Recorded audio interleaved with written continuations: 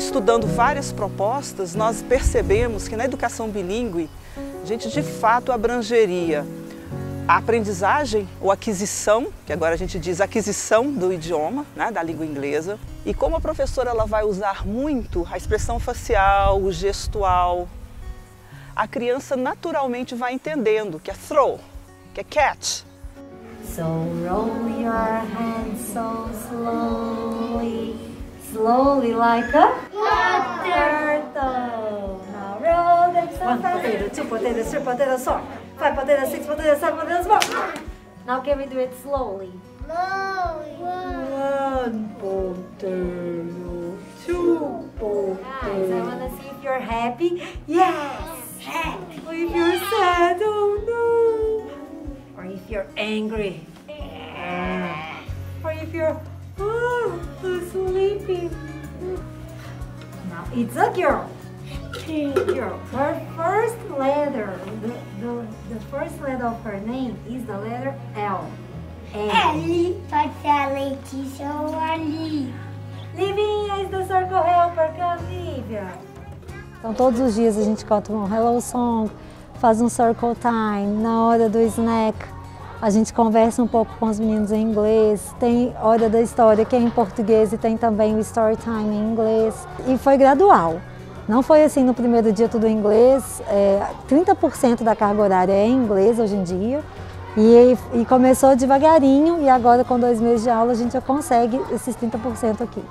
Então no início ela vai ser muito mais um ouvinte, como era o bebê da língua portuguesa, né? ele ouvia muito mais, até que ele se arrisca aos primeiros sons, esses sons com significado, que são as palavras, as frases. Isso vai acontecer também na língua inglesa. Really? É mesmo? Now look at what's happening with Fábio. No problem. Okay, here we have. Look at what's happening with Nina. Verde. Como que é o verde mesmo? Quem sabe? Green. That's right. Ah lá. Put a little bit more of yellow. Just a little bit. She didn't get, she mixed blue and yellow together.